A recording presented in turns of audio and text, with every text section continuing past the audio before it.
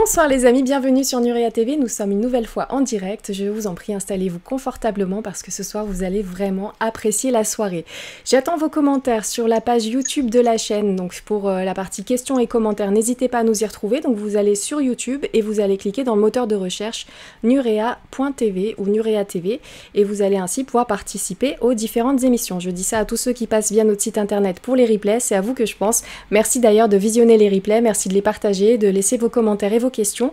Et notamment d'ailleurs ce soir, j'ai pris des questions de la dernière émission que nous avons eue pour enclencher la soirée. Donc vraiment merci à tous ceux qui ont laissé des commentaires sous la dernière vidéo. C'est très gentil à vous.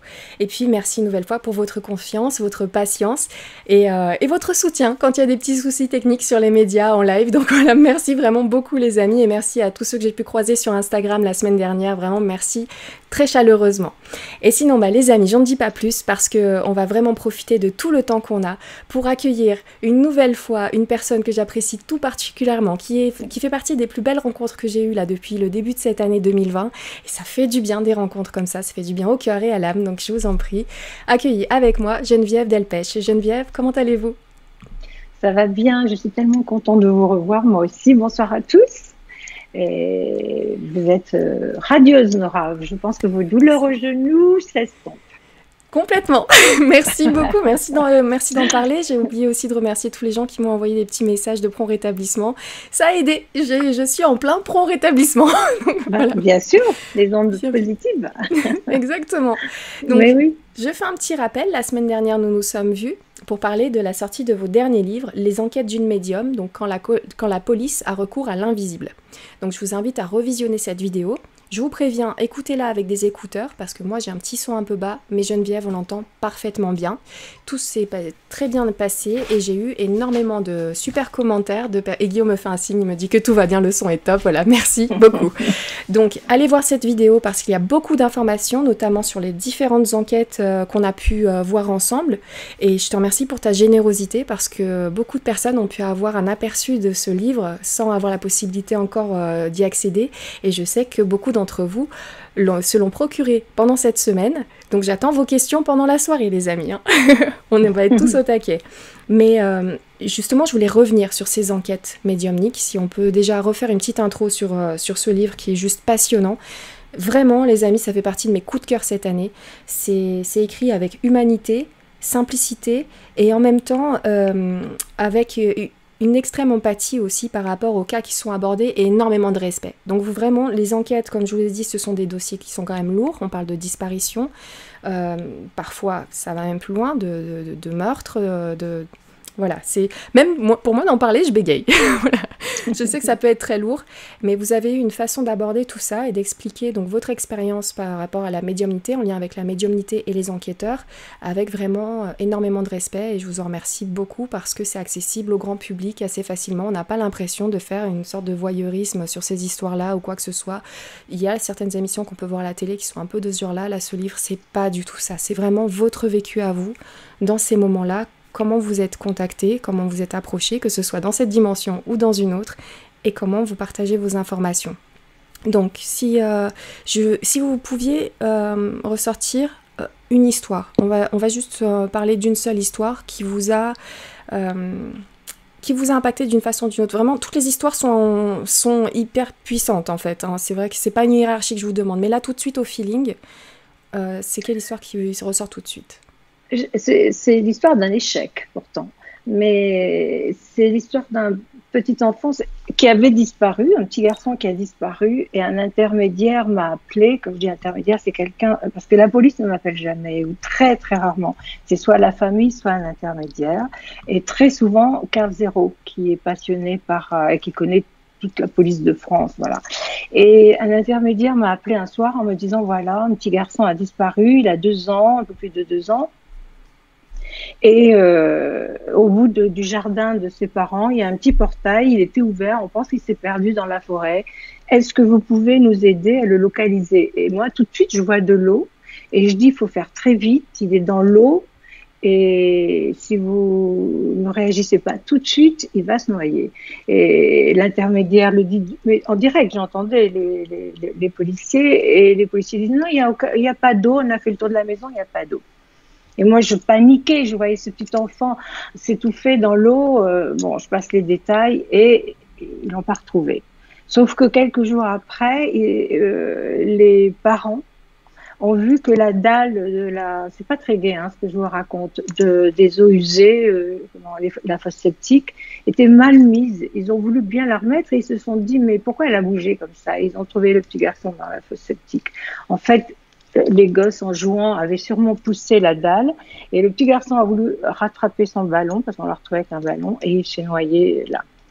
Alors ça, ça m'a marqué et ça me je pense souvent à ce petit garçon et je, je me dis là, vraiment, il est temps qu'on donne un peu plus de crédit à un médium quand il est...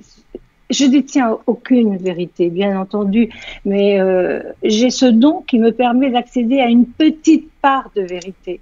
Et quand un médium est sûr comme ça, écoutez-le, ça ça mange pas de pain d'écouter, parfois ça peut sauver la vie d'un une personne, voilà, sur place. Et non, vous avez fait le bon choix. Il y a aussi Manon Tartampion, comme pseudo, qui nous dit la pire histoire était celle du petit garçon dans le puits pour moi. Voilà, vous avez partagé la, même histoire qui, mm. qui est assez euh, perturbante parce, que, vous l'aviez vu, vous l'avez ressenti. Il était encore vivant, et comme Pauline fond et tout ça. Ça, c'est terrible. Et comment ça s'est passé cette connexion? Justement Il était vivant.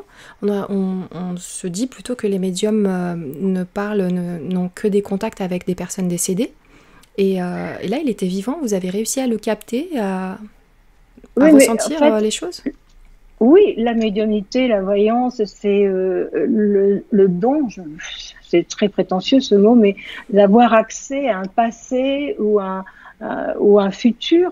Mais vous savez, Nora, aujourd'hui, avec l'expérience que j'ai sur la voyance, je suis intimement persuadée, et ça, c'est les scientifiques qui l'expliqueraient bien mieux que moi, que le temps n'existe pas. Et le médium ou le voyant a, cette faculté de se déplacer dans des sortes de couloirs de l'espace-temps. Et quand je vois un enfant se noyer, je, je le vois en trois dimensions. Je suis dans la situation où il est en train de se noyer. Pour moi, il n'y a pas il n'y a pas d'autre. C'est ici et maintenant. Voilà, donc euh, la médiumnité, c'est pas uniquement les défunts, hein, ou alors c'est la voyance, peu importe les mots.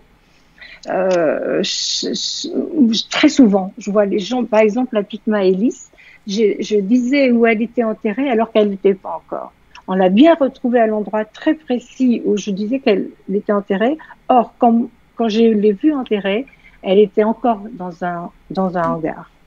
Exactement. Donc la notion de l'espace-temps, c'est très relatif. Il faut, il faut faire très vite. C'est tout ce que je sais. Eh bien, écoutez, comme vous avez pris un dossier qui est assez lourd, je vais vous poser aussi une autre question. J'ai eu un ami au téléphone qui a regardé donc votre émission euh, ce matin même, et il m'a posé une question qu'on vous avait déjà, que je vous avais posée la semaine dernière, mais il aurait voulu avoir plus d'informations encore. Comment vous vivez le fait d'avoir euh, vu ou ressenti ces événements-là, qui peuvent être parfois très tragiques, très durs, comment vous faites pour vivre votre vie de tous les jours et être aussi souriante et aimante et euh, plus qu'une personne euh, lambda? Comment mhm. vous faites? J'ai pas de mérite. J'ai fait une expérience, Nora, que beaucoup appellent une NDE. Moi, mais, mis à part que moi, j'étais pas malade, j'étais pas médicalisée, j'ai fait l'expérience du tout. Alors, avec les mots et nos, cinq sens, on peut pas expliquer ce que j'ai ressenti. Mais je faisais partie de tout. J'étais la fourmi, j'étais l'arbre, j'étais l'herbe, j'étais, vous êtes moi et moi je suis vous. Et, toute la souffrance que ressentait la peur de la fourmi, je le ressentais. Tout a une conscience. L'eau était vivante, le minéral était vivant, tout était, il y avait de la vie partout. Et je ne suis pas ressortie de cette de cette expérience comme euh, j'y suis rentrée. Et ma vie a totalement changé, ça a bouleversé ma famille, Michel était euh, complètement dépassé. Et ce jour-là, j'ai appris ce qu'était la véritable empathie, le véritable amour.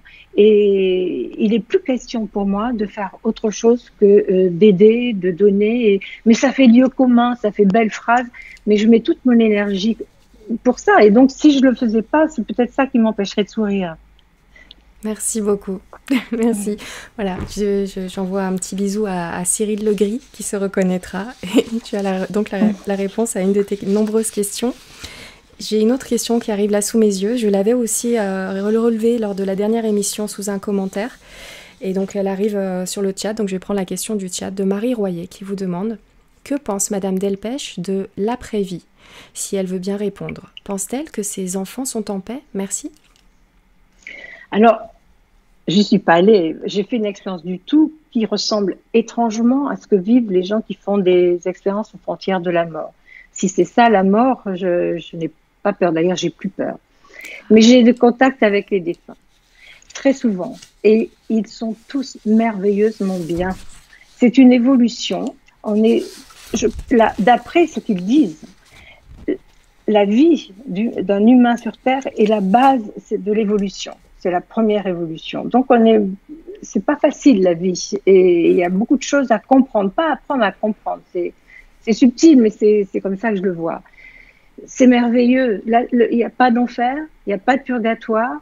Et s'il y en a un, purgatoire, c'est la prise de conscience de nos actes euh, pas gentils, pas beaux que nous avons fait sur les autres. Et là, on se dit ça, c'est pas bien. Je leur Et à travers les yeux de l'autre. Et à travers les yeux de l'autre, mais sans jugement. C'est-à-dire que vous ressentez la peine que l'autre a eue. C'est terrible, mais en même temps, il n'y a pas de jugement, il n'y a qu'amour.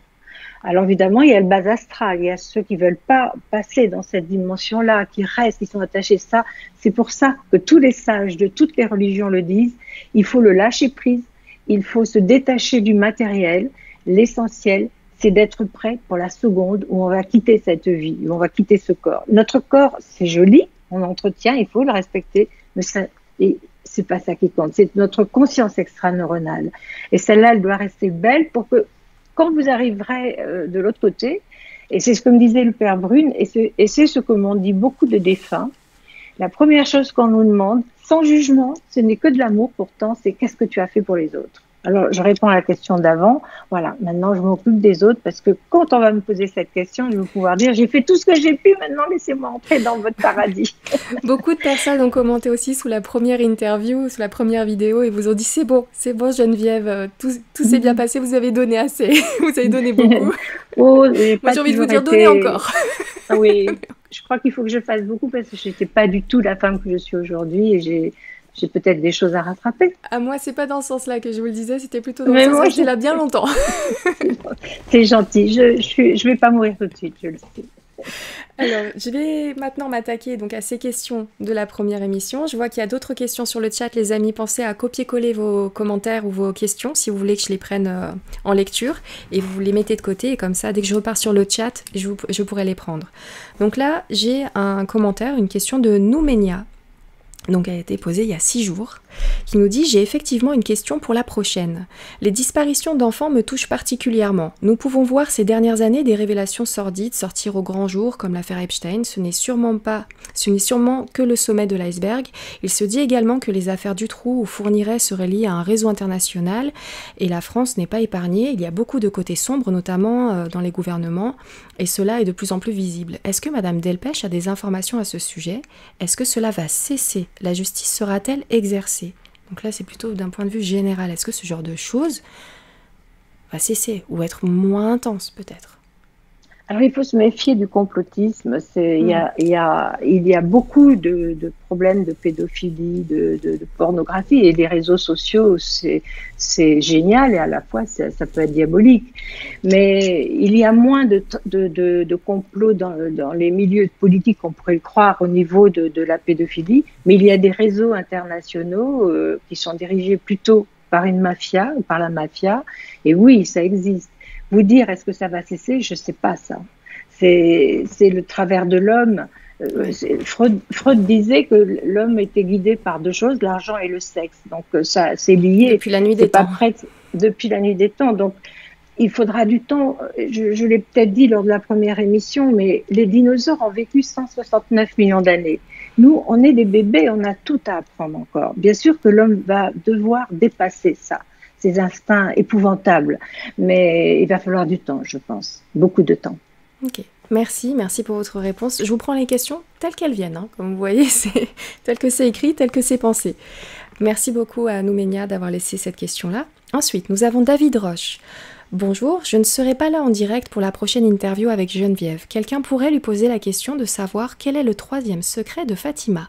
À celui qui lit ce message et pose la question, merci. Merci David, c'était moi. Donc, le secret de Fatima. Ce serait un cataclysme mondial. Ce serait un cataclysme mondial et aussi une rencontre avec des extraterrestres. L'avènement de la vie extraterrestre. La, la, la, révélation d'une vie extraterrestre et à la suite d'un cataclysme mondial. Je ne sais pas pourquoi, si c'est lié, mais d'après ce que je sais, d'après ce qu'on m'a dit, le secret, le troisième secret de Fatima, c'est à la fois à la suite d'un cataclysme mondial. Hop. Et là, petit saut, petit saut technique, les amis. Vous avez regardé là, vous avez vu un petit peu ce qui se passe?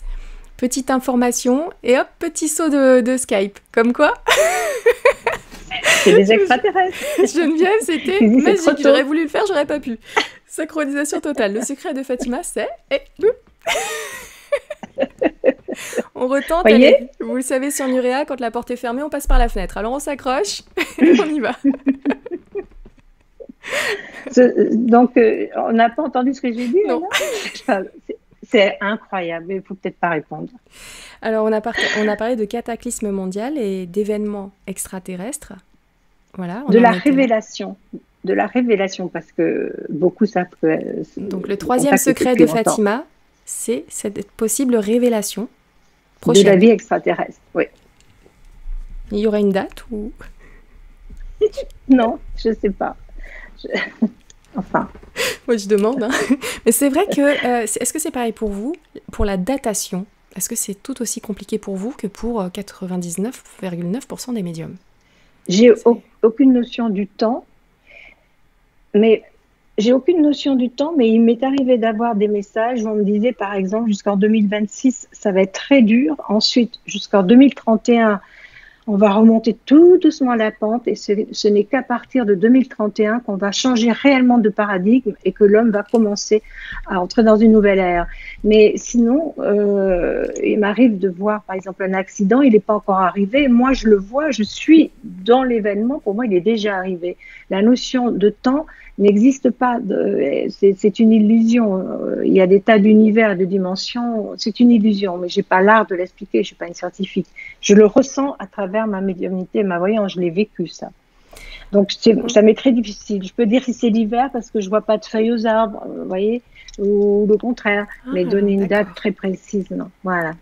Alors, on va rester donc sur cette information. Vous dites que ça, ça va être très difficile jusqu'à 2026. Est-ce qu'il y aurait un petit conseil? Est-ce que dans vos connexions, vos contacts euh, sur un autre plan, est-ce qu'ils donnent des conseils là-dessus?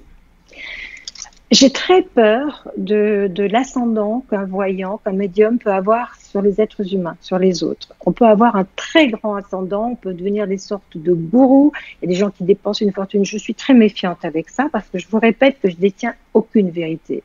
Mais on m'a dit des choses. Oui, il est plus sage aujourd'hui, c'est vrai, de vivre à la campagne que dans les grandes villes. Il serait, il serait bien d'avoir son jardin. Euh, de retrouver les, oui c'est ça le goût de la campagne de d'avoir de, l'eau pas loin. On m'a dit ça. Mais ceux qui, tous ceux qui vivront dans les villes ne vont pas mourir pour autant. Ce sera plus facile d'être par exemple c'est un exemple que je donne mais on me l'a dit à la campagne dans les temps qui viennent dans les prochains temps. Mais c'est vrai regardez par exemple ce confinement qu'on a vécu. C'était plus facile à la campagne. voilà hmm. ceux qui sont dans 50 mètres carrés à Paris au 15e étage et celui qui a son jardin et ses fleurs et ses légumes à la campagne près d'un ruisseau, euh, vous voyez ce que je veux dire. Mais oui, dans les temps qui viennent, ce sera mieux de, choisir une vie euh, plus écologique et à la campagne. Plus douce. Et peut-être que si on s'y met plus tôt, comme apparemment il y a toujours cette problématique avec le temps, peut-être qu'on gagnera un petit peu de temps sur 2031, si on pense déjà un petit peu plus différemment. Ce serait sage. Oui, ce serait sage. Ce serait sage. Merci. J'y pense moi-même, pour vous dire la vérité, à trouver une maison près de la mer et, et me mettre un peu à l'abri et, pouvoir recevoir mes enfants et mes amis. J'y pense. Je sais que les temps vont être durs. Mais je veux pas avoir l'air de, de, de, vous savez, euh, l'ange de l'apocalypse. C'est pas ça non plus. C'est pas la fin du monde. Mais euh, en fait, non, parce que vous avez dit que ça irait mieux en 2031. Donc, on, voilà. on, va serrer les fesses, hein, comme on dit. Voilà. Et puis, et puis on va s'entraider. Et puis, on va faire des bons choix. Et dans les moments difficiles, c'est pas tellement l'expérience difficile qui compte, c'est comment on réagit face à cette expérience difficile. Donc, c'est très vrai. On se concentre vraiment là-dessus. Essayer de, de, positiver ce qui est possible de positiver. Mais... Exactement. Voilà, et on avance, et on s'accroche. Et hum. vivre, Nora, c'est pas d'avoir peur de l'orage et apprendre à danser sous la pluie. Merci, j'adore cette phrase. Merci, c'est exactement ça. Donc on, se détend, on se déstresse, les amis. Voilà. Et, euh, ça va aller. Euh, mais entraidez-vous et euh, juste je, fais un petit rappel comme ça. Si les gens ne peuvent pas savoir que vous avez besoin d'aide parce que vous, vous ne le dites pas, ça peut être plus compliqué. Donc si vous avez besoin d'un coup de main, demandez un coup de main et parce que vous pourriez être étonné de voir à quel point les gens sont heureux de vous donner un coup de main. Donc vraiment, n'hésitez pas, les amis. Et merci pour tous les élans qu'on a pu voir d'ailleurs pendant ce confinement-là. Il y a eu pas mal de choses positives sur euh, la nature humaine. Vraiment, ça faisait chaud au cœur. Mais bien sûr, mais bien sûr, bien sûr. Donc euh, ça va aller. Ben, merci, merci beaucoup. Comme quoi, voilà, les infos, on les prend. Toute vérité n'est pas bonne à dire, mais elle est toujours très bonne à entendre. il faut toujours, c'est toujours mieux quand on est prévenu des choses. En tout cas, c'est ce que je pense. Comme ça, on peut s'y préparer au mieux. Exactement. Alors, une autre question de Sibéria. Je vous ai dit, hein, je vous préviens d'ailleurs, les amis, pour euh, vous qui regardez peut-être Nuria pour la première fois ce soir. Donc, je vous invite à regarder la première interview avec Geneviève sur euh, le livre Les enquêtes d'une médium quand la police a recours à l'invisible. C'est un livre sur lequel on a passé énormément de temps parce que vraiment il est passionnant. Et ce soir, c'est un deuxième rendez-vous. Donc là, comme d'habitude sur Nuria, c'est vous qui posez les questions à Geneviève principalement. Et c'est pour ça que les, questions partent dans tous les sens. Donc Geneviève, je vous remercie euh, pour assurer bah, ce live, hein, c'est pas évident de faire un direct, mais pour vous, c'est voilà, on est comme à la maison, donc ça. Mais c'est moi qui ai voulu faire, je le répète, mais je, je vous suis depuis longtemps et j'avais très très envie de faire votre connaissance et de participer à votre émission. Bah, merci, mais j'espère qu'après une première, vous n'êtes pas déçus. Parce que bah nous, on l'est pas, hein. attention. Oh, c'est vraiment une belle rencontre. Alors, j'enchaîne avec euh, Sibéria. Sibéria qui vous demande Si vous êtes médium, pourquoi Estelle ne vous dit pas exactement où elle se trouve? On parlait d'Estelle Mouzin. Oui. La voyance. Je, vois pas, je, vous donne la question telle qu'elle est. Hein, mais... Oui, oui, non, non, mais c'est. Je, je, comprends très, très bien cette ah. question. Je me répète, le, la c'est pas une science euh, infuse et ce n'est. Enfin, c'est pas une je, je, vois pas tout, je serais Dieu lui-même, ça se saurait. J'ai entendu la petite Estelle au moment où elle a disparu, le soir même, me dire où elle se trouvait. Mais ils, vivent leur vie après, ils s'éloignent, et, je ne suis qu'un être humain, je capte des informations, et la voyance après, c'est un pulse. Et le temps passe, je ne vois pas toujours bien avec le temps qui passe. Et ce sont des flashs, ou alors c'est de la claire audience et c'est sur le moment qu'il faut écouter. Mais j'ai pas de réponse. Je ne peux pas répondre à ça. Je peux pas répondre à ça. ce serait trop beau si elle me disait je suis à tel endroit. Ça m'arrive, ça m'arrive de voir l'adresse, mais c'est rare. Je peux pas répondre à ça. En toute honnêteté, je peux pas. Je vois un endroit. pour moi, je vois à peu près certaines choses, mais c'est pas si simple. Je comprends Des fois, de ce votre question. Comprendre, ou en tout cas en lisant euh, donc les différentes enquêtes et vous raconter ce que vous voyez, il y a des mhm. moments où c'est extrêmement clair. Euh, et comme notamment, bah, je pense à, à Tiffaine Véron. On a mhm. le lieu, l'endroit, comment ça s'est passé. Et d'autres fois, c'est un petit peu plus flou. Et même parfois des moments où vous n'avez aucune information. Aucune, oui. Pour Tiffaine Véron, c'est vrai que j'ai, bon, je me trompe peut-être, hein, encore une fois, hein, mais j'ai même eu la longitude, la latitude du lieu où elle se trouvait, je l'ai vue. Elle, elle, en revanche, je peux vous répondre, euh, elle m'a donné un endroit très précis. Mais il y a des, des moments où c'est flou. Euh, eux-mêmes ne savent pas trop ce qui s'est passé, ne comprennent Vous voyez ce que je veux dire? Et puis, parfois, je ne vois pas. tout simplement, il faut avoir aussi l'humilité de dire je ne vois pas, je ne sais pas. Et, ça, c'est vrai que euh, les personnes en face de moi, quand je leur ai dit je ne sais, quand je leur dis je ne sais pas, je ne vois rien, ça, passe mal. Ils ont du mal à, l'accepter. Ben vous devancez, euh, vous avez vous, vous, avez répondu à la question d'après, je la lis quand même, donc de Servaine Lou euh, oui, Séverne Loup, qui ont dit Geneviève, étant proche de Carl Zero, qui a fait un documentaire sur l'affaire Grégory, avez-vous ressenti quelque chose par rapport à la vérité ou à, cette vérité-là ou à sa manifestation? Merci d'avance de bien vouloir lui poser la question et merci pour cette belle émission. Donc, Séverne Loup. Et là. Alors, L'affaire Grégory, c'est une affaire qui n'est pas fermée encore, qui n'est pas mhm. totalement fermée. Donc, euh, oui, j'ai un avis, et, mais euh, vous l'avez partagé. Vous, vous l'avez partagé avec les personnes, en tout cas, qui sont en lien avec l'enquête? Euh, je l'ai partagé avec un lien, avec quelqu'un qui fait le lien avec euh, voilà. La, voilà. Et eh ben c'est voilà. Oui, Donc, ouais, oui, c'est répondu. Donc oui, vous avez une information sur l'affaire Grégory, mais l'affaire étant en cours, euh, mm. voilà. Les gars, on va pas brouiller une enquête. D'accord Je vais vous donner, je vais vous expliquer pourquoi j'hésite à répondre. Je vais vous mhm. expliquer pourquoi. J'ai eu un appel d'une maman il y a 48 heures dont je suis très proche pour laquelle euh, j'ai vraiment œuvré pour retrouver son enfant disparu. Et, j'ai pris des risques vraiment pour euh, retrouver son enfant.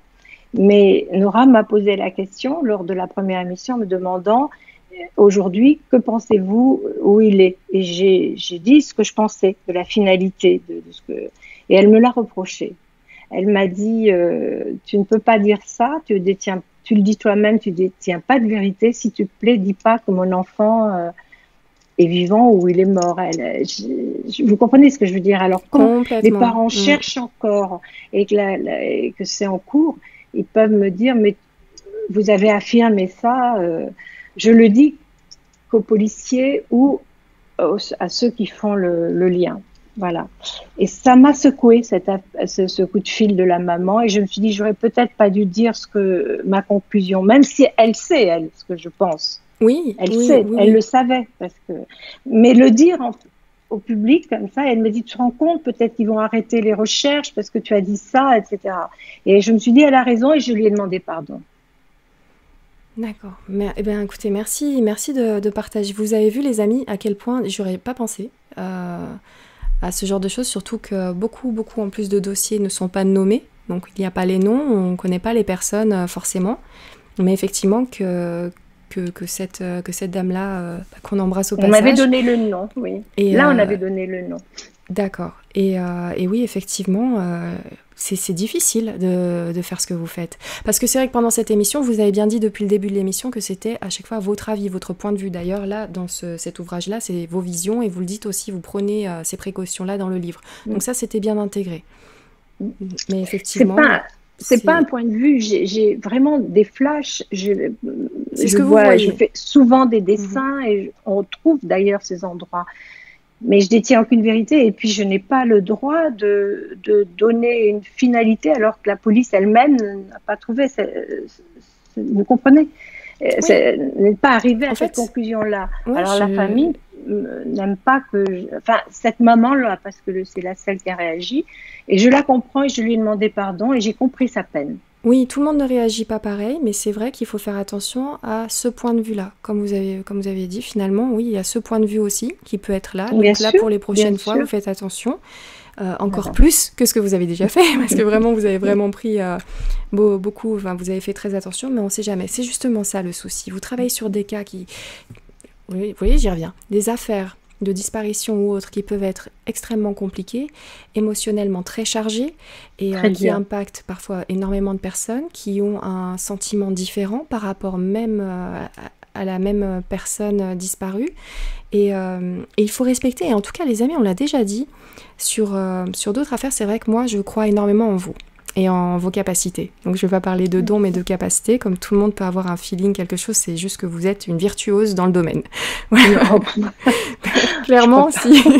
mais, euh, mais il reste quand même le libre arbitre. Les choix appartiennent à chacun de suivre ou de ne pas suivre ce que dit euh, une personne ou une personne euh, qui, qui, est médium. Et même la meilleure des médiums, les amis, c'est vous qui avez donc toutes les cartes en main pour décider ce que vous allez faire ou pas. Et c'est pour ça que finalement, même ce que vous décrivez comme étant euh, des enquêtes que, sur lesquelles euh, vous estimez qu'il y a une erreur, mais en fait elle vient pas de vous, vous avez partagé en toute sincérité comme à chaque fois ce que vous avez vu et entendu, c'est simplement que certaines personnes ont décidé de ne pas suivre vos indications. Donc pour moi ce n'est pas une erreur parce que vous avez donné l'information, l'erreur aurait peut-être été de garder l'info, mais le fait que les gens aient pris la décision de ne pas la suivre, c'était leur libre arbitre. Et il n'y a pas de hasard, les, gens, j'ai vu aussi dans l'histoire que des fois ça pouvait être très perturbant, il n'y a pas de hasard. Restez là-dessus, ne vous prenez pas non plus sur les épaules ce genre de décision-là en disant si j'avais écouté Geneviève, peut-être que non. Il y a des fois, si vous n'avez pas le feeling, justement, et de vous dire je vais pas l'écouter, quand bien même elle aurait raison, c'est parce que c'était comme ça. Donc arrêtez, ne vous flagellez pas là-dessus, vraiment, quand bien même les histoires sont, sont compliquées, vraiment, euh, ça m'a beaucoup touché dans, cette partie-là. Même mon, mari, Michel, euh, à qui j'ai dit pendant un an, va voir un médecin, il se passe quelque chose dans ta bouche, alors qu'il avait absolument, il était en pleine forme, il ne m'a pas écouté, alors qu'il m'écoutait tellement. Et quand on est allé voir le professeur Mélin, et la première chose qu'il nous a dit, c'est c'est quand même bête si vous étiez venu un an auparavant, plutôt c'était anodin, je, je vous l'enlevais, mais là c'est un stade 4, c'est peu opérable. Et avant de mourir, Michel m'a dit peut-être dix fois, vingt fois, euh, ah là là, si je t'avais écouté. Mais justement, il m'a pas écouté. Est-ce que son destin n'était pas de partir à ce moment-là? Moi, je crois qu'on on, prend tous les choix dans tout, plein de vies c'est à l'infini, mais c'est encore une autre histoire. Mais c'était son choix et il fallait le respecter et c'est comme ça. Et c'est ce que mhm. je lui ai dit. Je lui ai dit, tu as peut-être choisi de ne pas m'écouter, c'était peut-être euh, le moment de ne plus m'écouter. J'en suis persuadée, j'en ai même des frissons pendant que vous dites ça, j'en suis persuadée. C'est comme ça que ça se passe. C'est bête, hein, mais écoutez, ici ou de l'autre côté, on a la maison partout. Donc déjà, on, va, on va se détendre. Et c'est très euh, vrai. Euh, la vie là-dessus, on se détend, de toute façon, euh, on, fait tous des allers-retours apparemment, de tout ce qu'on a pu voir sur Nuria TV, de tous les témoignages qu'on a pu avoir, de toutes les personnes qui ont, qui ont vécu des, des NDE, donc des, des, expériences de mort imminente, euh, de, de, toutes les personnes qui arrivent à capter même des vies antérieures, tout ça. On a vu tellement, tellement de choses en quatre ans, les amis. Je crois que on, est détendu avec la mort qui n'est en fait qu'un passage ah, ah, vers absolument. un autre endroit et qui, et qui semblerait que ce soit ici le terrain de jeu et de l'autre côté la maison. Donc les personnes qui nous quittent vont très bien, si ce n'est même mieux que nous, hein, parce que nous, on se prend toute la pression de l'absence. absolument. vous, ne croyez pas si bien dire, Nora, quand j'ai fait cette expérience, j'avais l'impression de rentrer chez moi. Je, je, me disais, mais c'est ici chez moi. Enfin, je comprenais tout. Et quand il s'agit de revenir dans mon corps, j'étais pas, euh, j'étais pas contente du tout. J'avais envie de rester chez moi. Oui, c'est vrai. Mais ce que vous dites. on est là pour une raison. Donc même si apparemment c'est hyper sympa de l'autre côté et qu'on l'aurait oublié, il y a une raison à cet oubli certainement et vous avez des trucs à faire que ce soit pour vous ou pour les autres et souvent c'est c'est lié, c'est intriqué, j'ai envie de dire. donc euh, donc voilà, c'est aussi bien pour vous que pour les autres. Donc euh, voilà, ne faites pas non plus le choix de partir euh, trop tôt de vous-même. c'est des petits trucs à faire. Ouais ouais. ouais. vous êtes peut-être le maillon d'une chaîne beaucoup plus grande que ce que vous pensez et que vous avez un impact. Et peut-être, en fait, quand j'y pense, peut-être qu'il est lié à moi et que ça pourrait être un truc bien. Donc ne faites pas de bêtises, les gars, je vous attends. Mais c'est l'effet papillon. La moindre de nos paroles, de nos pensées ont un impact sur l'univers tout entier et sur les univers. Il y a des dimensions incroyables. Ça, je vous demande de me croire. On y vient. Myriam Belmire, que nous avons reçue ici sur Nurea TV donc qui est, qui est euh, la responsable donc, de l'association euh, sur les, pour euh, les personnes donc, qui, qui, disent avoir vécu une expérience d'enlèvement, d'abduction, enlèvement extraterrestre spécifiquement. Je vous invite à, taper simplement sur Google Myriam Belmire. Vous allez pouvoir retrouver donc toutes les informations concernant l'association que j'ai malheureusement pas sous les yeux là tout de suite pendant le live. Et, et il y a notamment l'émission sur nurea.tv que vous pouvez retrouver avec Myriam. Et elle vous a posé une question. Donc elle a vu votre émission elle vous dit Quelle belle personne cette dame. Merci à vous, Geneviève, pour votre témoignage et votre mission sur Terre. Merci à Nora et toute l'équipe pour cette belle rencontre sur Nuria TV. Il est important de témoigner car certaines personnes doutent de notre, de notre connexion au tout majuscule. Et vous en parlez parfaitement. Je comprends très bien ce que vous expliquez par rapport aux liens que nous avons les uns avec les autres sans se connaître. Il m'est arrivé plusieurs fois de ressentir à l'intérieur de la personne ce qu'elle pouvait ressentir en bien ou en mal d'ailleurs. Mais ce serait intéressant de savoir ce que Geneviève perçoit et ressent par rapport aux rencontres extraterrestres. Nous sommes concernés dans notre association par ces rencontres venues d'ailleurs. Merci encore pour cette émission. À bientôt Nora, amitié Myriam. Alors, que pensez-vous des rencontres extraterrestres et notamment, précisément dans ce qui concerne l'association de Myriam, des personnes qui sont en contact et en contact forcé euh, pour la plupart, avec ces êtres extraterrestres. Là, on part la tête dans les étoiles. Mais oui, mais oh, elles existent, les étoiles. Hein. Moi, je crois qu'il y a de la vie partout. Alors, évoluer, plus évoluer, moins évoluer. D'abord, ce serait très prétentieux de, de, penser que nous sommes les seuls. On croyait que la Terre était le centre de l'univers. Maintenant, on sait que c'est une petite planète parmi des milliards et des milliards et des milliards de planètes. Quelle prétention que de penser qu'on est les seuls. Il y a de la vie partout. Et je crois complètement aux extraterrestres.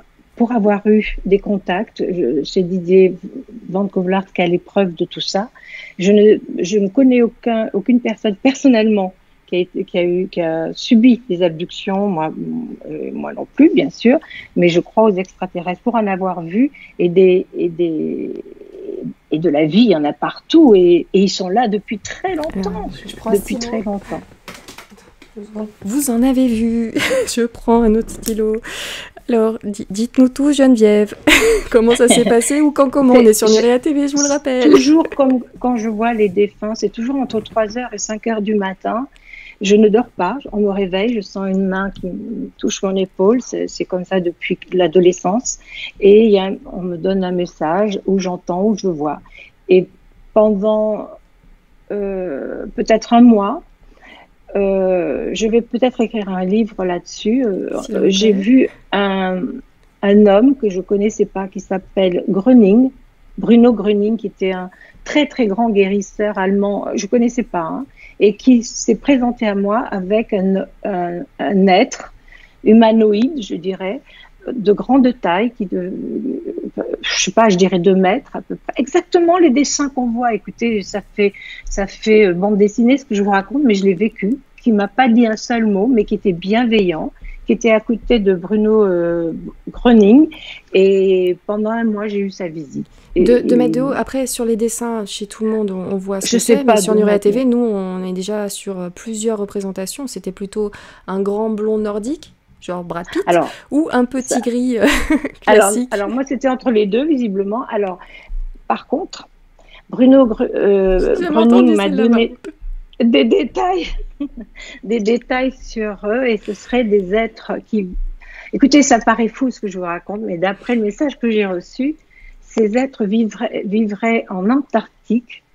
Ah, euh, on m'a donné des longitudes et latitudes de, de véritable d'une cité qu'ils ont euh, construite sous l'Antarctique et euh, ils viennent régulièrement sur Terre. Et effectivement, ceux-là sont très blanc de peau, très grand, beau, les yeux bleus et blonds. Ça aurait un lien avec euh, l'histoire de l'amiral Bird, vous savez Non, je connais pas. Ah, ok, bah, je vous ferai écouter ça, vous pourriez être oui, je veux bien. Et donc, euh, moi, je raconte tout ça à Didier Van qui note tout, euh, qui fait tout constater par huissier, et après, ça m'appartient plus.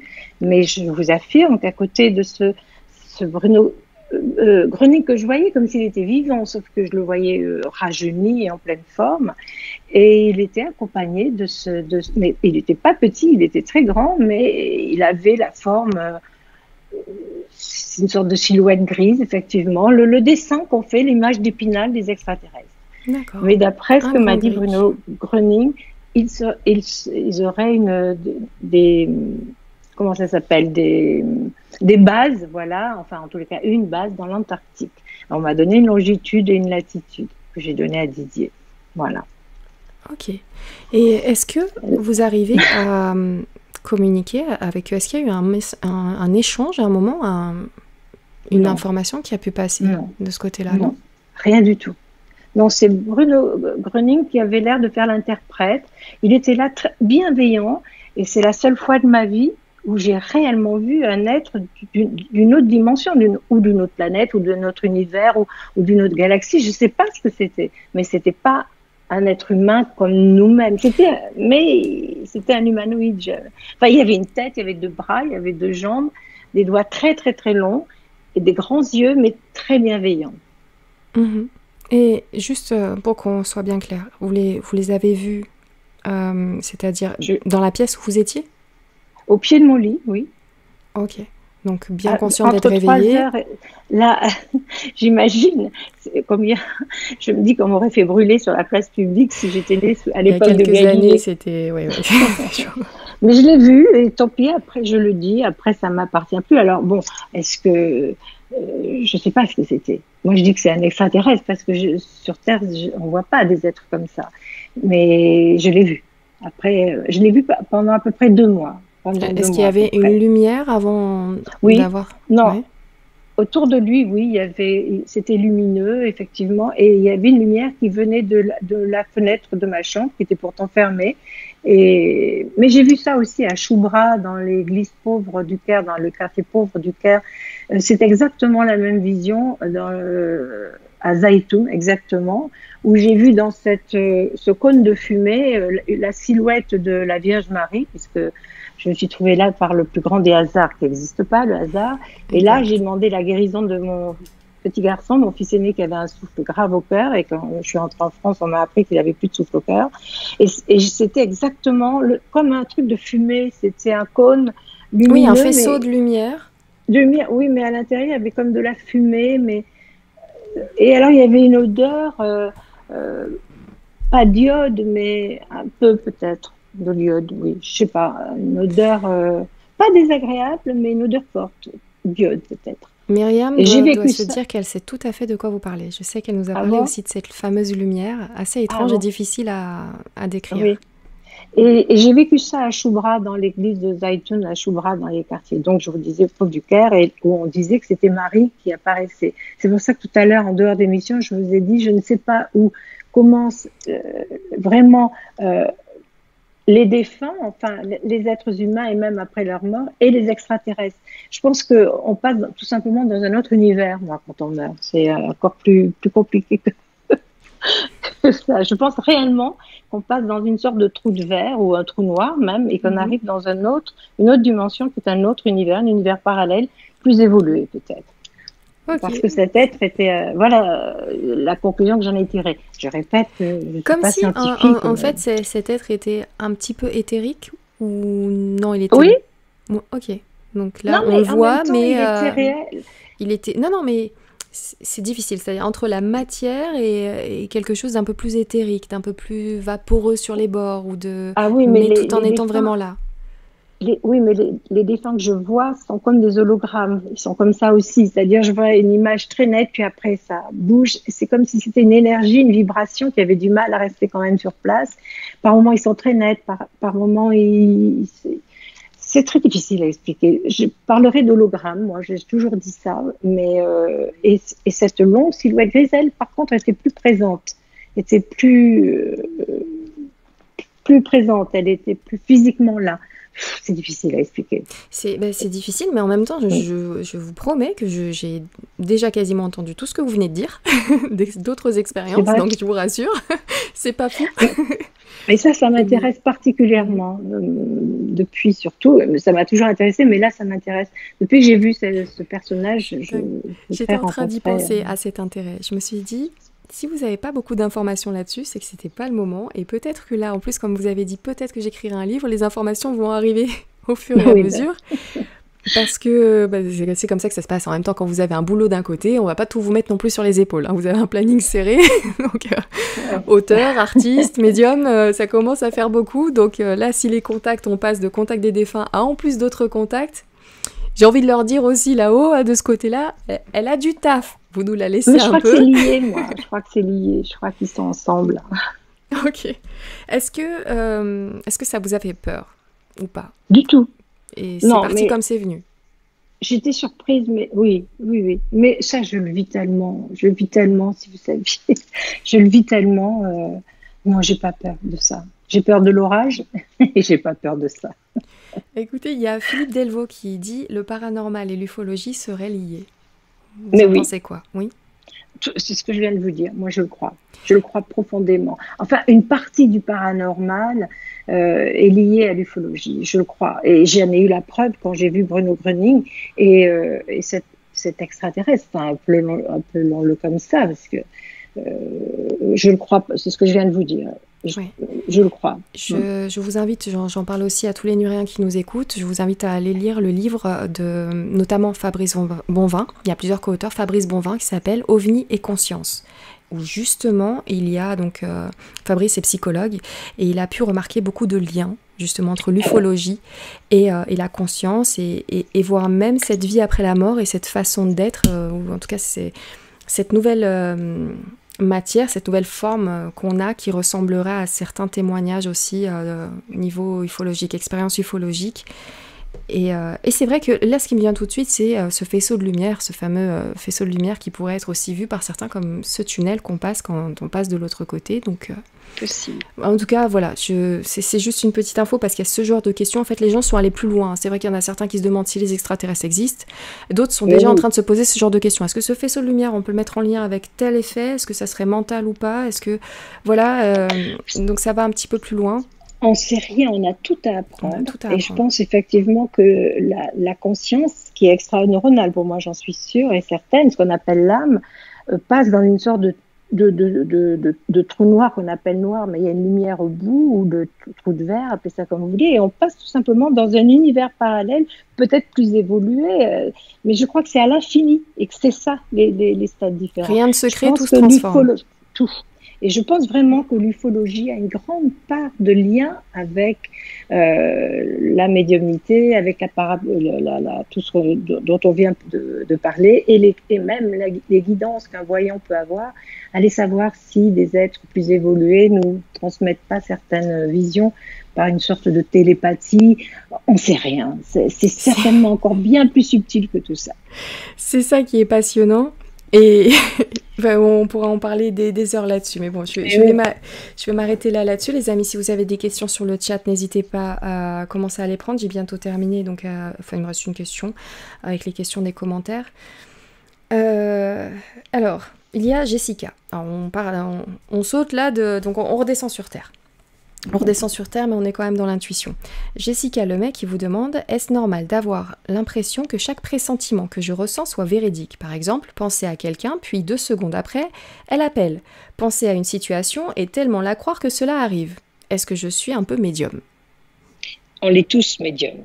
Nous le sommes tous pour la seule et bonne raison que nous sommes tous liés, reliés à une connaissance universelle à une conscience universelle, à un amour universel qu'on appelle Dieu, mais qui je me méfie avec ce mot Dieu ah parce qu'il a été la source, euh, le grand foudroyant, foudroyeur, appelez ça comme vous voulez. Et puis, et puis cette image anthropomorphique que les hommes ont donnée à ce Dieu, c'est tout simple. Dieu, c'est l'amour, c'est la création, c'est la connaissance. Et nous sommes tous, tous reliés. Et vous l'êtes vous aussi. Donc vous avez parfois des intuitions que vous captez parce que vous êtes médium, mais nous le sommes tous. Alors bon, moi j'ai peut-être un canal un peu plus large que certains, d'autres. Euh, vous avez la fibre, nous on est encore à la Wi-Fi, il y en a qui sont au Minitel. Euh, voilà. Mais c'est ça, mais c'est ça, mais c'est ça en fait. Mais c'est normal. Écoutez vos intuitions, écoutez euh, vos, pressentiments, vos, vos rêves prémonitoires. Soyons humbles et écoutez-les. Si vous saviez combien ils nous aident, ils demandent que ça. il faut arrêter avec les poncifs, il faut pas réveiller les morts, on les dit, tout ça, ça n'existe pas. Ils sont bien plus vivants que nous et demandent que ça nous aide. Et, soyez reliés à cette connaissance universelle, à cet amour, et vous allez voir, votre vie sera merveilleuse. Vous comprendrez beaucoup de choses. Ne vous posez plus de questions. Écoutez, écoutez ce qu'on vous envoie. Merci beaucoup. J'ai une question de Naja. X2050 qui nous dit, et je vais euh, rajouter à cette question-là beaucoup de commentaires que j'ai vus, qui me dit Nora, demande à Geneviève, s'il te, plaît, euh, te plaît, si elle arrive à contacter ses parents, ses proches. Merci. Et j'ai eu beaucoup de questions de personnes qui se demandaient si oui, vous, effectivement, vous étiez toujours en contact avec Michel, notamment parce qu'on est nombreux à le connaître aussi, donc on voudrait savoir s'il va bien. Et, euh, et, Ça me touche. Et donc voilà, est-ce que c'est est-ce que c'est le cas? Oui. Comment vont-ils? Et comment va Michel? ben, écoute, je sais, je, il me guide pour des petites choses de la vie. Je ne sais pas si vous avez lu le livre de Philippe Ragnaud sur la, vie, euh, les contacts qu'il a eus avec sa femme. C'était, il, a, il, a, il est à l'origine de la création de l'ORTF. C'est un ancien résistant, conseiller du général de Gaulle. C'est un homme très pragmatique. C'était très cartésien. Et à la mort de sa femme, il a eu des conversations extraordinaires avec sa femme. J'ai exactement la même chose avec Michel. Il me guide pour des choses incroyables. Je n'ai pas de nouvelles de mes parents, mais j'en ai de ma grand-mère. Et je ne sais pas pourquoi j'en ai pas de mes parents. Mais quand mon père est mort, trois mois après sa mort, je l'ai vu. Et quelques jours avant, je demandais à ma mère euh, si mon père m'avait aimé, parce qu'il était très froid, c'était un homme de très bonne famille, très... et elle ne me répondait pas vraiment, et j'étais en souffrance avec ça. Et un jour, je l'ai vu au pied de mon lit, je, je, regarde la caméra, je me regarde tous dans les yeux. Mon père est venu sur le, le côté de mon lit, je suis sortie de mon lit, m'a prise dans ses bras, et il m'a dit, je suis venue te dire que je t'aime. Et ça, j'ai pas le droit d'inventer ça. Donc voilà, j'ai eu le contact, j'ai eu beaucoup de contacts avec les défunts. J'en ai pas avec euh, ma mère, j'en ai eu qu'un avec mon père. Et Michel est là en permanence. Par moment, il est pas là, alors je, je m'angoisse un peu, je suis un peu perdue, mais il revient quand j'ai besoin de lui. Ils sont partout. Ils sont. C'est, Charbe qui m'a dit ça, mon ami Charbe qui a été assassiné, vous savez. Euh, et un jour, je l'ai, je l'ai vu et je lui ai dit ah Charbe, c'est toi. Il m'a répondu tu es là? Et il me dit non, mais je suis partout maintenant. Il m'a dit.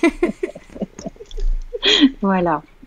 C'est, c'est, je sais que j'ai une vie un peu particulière, mais ce que je vous raconte, je l'ai vraiment vécu. Est-ce qu'ils vous racontent un peu ce qu'ils font là-bas? Parce que ça, c'est le genre d'information qu'on a très très peu, voire pas du tout. Et, ils me disent qu'on ne pourrait pas comprendre, que c'est vraiment. Euh, alors j'ai perçu, c'est comme si c'est très étrange parce que je perçois parfois des images, c'est comme si m'envoyait, c'est une forme de télépathie peut-être, où je vois des villes lumineuses, tout est lumière, euh, je ne sais pas si c'est des villes qui sont faites en verre ou en béton, je ne sais pas, mais en tous les cas, il émane. Il, y a des êtres, des silhouettes lumineuses qui marchent, des milliers de gens, des animaux, tout est libre. Ils marchent dans des rues, les villes sont magnifiques, comme, comme en verre, mais je ne sais pas ce que c'est, même le sol, et, il est de chaque pierre, de tout, de, de, de l'amour, de, de, Enfin, voilà, c'est la seule chose que j'ai vue. Euh, euh, dans ce pays. Moi, je pense que je suis allée dans un univers parallèle où vont les défunts après la mort. Voilà. Merci. Euh, je ne sais plus la question que vous m'avez posée, Laura. C'est parfait. Après, j'entends par contre que vos écouteurs sont en fin de batterie. oui, j'ai entendu ding. La droite ne marche plus déjà. Donc voilà. Si. Je vous laisse euh, donc je vous laisse les reposer. Ça va être un petit peu compliqué les amis parce que vous allez entendre un petit délai, mais euh, un délai, un petit écho. Mais c'est pas grave. Je, on arrive au bout de l'émission et j'ai une question qui va reprendre donc sur le chat et je te remercie, Jamie, euh, parce que ça va reprendre le titre de cette émission là spécifiquement, Médium malgré moi. On dit Est-ce que Geneviève aurait des conseils pour une personne qui sent qu'elle peut voir qu'elle peut voir des défunts et des êtres de l'invisible, mais qui se le refuse à cause d'une peur panique? Donc il y a déjà cette question-là. Est-ce que donc vous pouvez y répondre et à ce moment-là, bon, comment une personne qui pense avoir des capacités peut gérer ça alors qu'elle a peur? Et médium malgré moi, donc pour ce qui vous concerne, du coup, si vous pouvez faire un complément là-dessus, comment ça s'est passé pour vous? Moi, ça s'est passé facilement pour la bonne raison que je suis issue d'une famille où c'était une chose banale. Alors, euh, mais les conseils que je donnerais, c'est de ne pas avoir peur. Surtout de ne pas avoir peur. Quand un défunt euh, vient vers vous, c'est qu'il a un message à donner ou une aide à demander. Vous savez, les histoires d'objets qui volent, qui blessent, c'est très rare. Il y a le bas astral, mais c'est très rare. Si un défunt vient, c'est qu'il a besoin de vous dire quelque chose, de vous dire son amour tout simplement, ou, il a besoin d'aide. Écoutez, n'ayez pas peur. C'est, écoutez, depuis que je suis petite, moi je les vois, j'ai jamais eu le moins de problème. j'en ai avec les voisins, mais j'en ai pas avec les défunts. Eh ben, Lilia vous demande, Nora, peux-tu demander à Geneviève, donc juste avant de partir, comment elle a découvert ses capacités? Ma grand-mère m'a toujours dit que j'avais le don depuis que je, suis petite. Ma sœur aussi a, ce don. Donc, euh, je ne l'ai pas vraiment découvert. Je, baignais, je vous répète, dans une famille où c'était assez banal ce don. Ma grand-mère adorait tout ça et elle était très, très médium. Et c'est à l'adolescence, quand j'ai commencé, j'ai commencé par faire des rêves prémonitoires. Annoncé euh, euh, des choses, accidents de, de, certaines personnes, et ça se révélait vrai. Et là, j'ai compris que j'avais euh, le don, entre guillemets. Ensuite, au lycée, ça a attiré certaines amies et et puis ça m'a créé aussi quelques problèmes. Là, j'ai compris que c'était pas tout à fait ordinaire, mais euh, je, rencontre plutôt de la bienveillance. Voilà. je ne l'ai pas compris. Je, suis née dans un milieu ouvert à ça. Merci, merci infiniment. Les amis, je vois sur le chat que vous avez posé énormément, énormément de questions et je vous en remercie. N'hésitez pas à les reporter aussi sous l'émission. Sait-on jamais, j'aimerais bien qu'on se recroise un jour, on va laisser passer un petit peu de temps parce que vous êtes auteur, vous avez écrit plusieurs livres, il y a notamment celui-ci dont on parle, donc Les enquêtes d'une médium, que je vous invite à découvrir en priorité parce que vous allez comprendre énormément de choses et euh, pourquoi je suis autant passionnée par vous, par qui vous êtes. c'est tellement solaire belle.